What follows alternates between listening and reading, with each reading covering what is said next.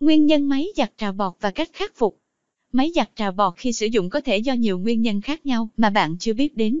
Cùng mẹo và cuộc sống xem ngay những nguyên nhân và cách khắc phục khi máy giặt trào bọt ngay sau đây nhé. Số 1. Không dùng bột giặt chuyên dụng. Nếu bạn sử dụng bột giặt tay cho cả máy giặt thì khả năng bị trào bọt ra ngoài là rất cao. Nguyên nhân là vì bột giặt tay thường tạo ra nhiều bọt hơn và gây tràn ra ngoài.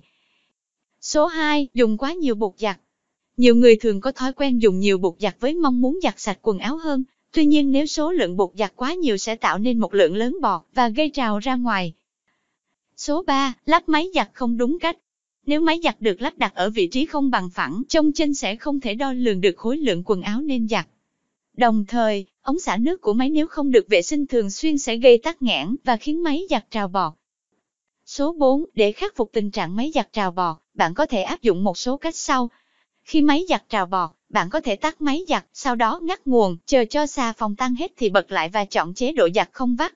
Khi máy dừng, bạn hãy ấn nút xả để làm sạch nước có trong máy, rồi lấy hết quần áo ra và lặp lại các bước trên. Khi máy giặt quay với nước mà không có đồ giặt sẽ giúp làm sạch được xà phòng, cặn bột giặt còn sót lại.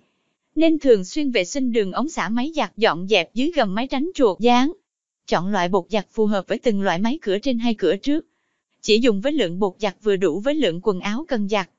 Trên đây là những nguyên nhân máy giặt bị trào bọt trong quá trình sử dụng, cũng như cách khắc phục chúng. Hãy khắc phục nếu máy giặt nhà bạn đang bị nhé. Chúc các bạn vui vẻ.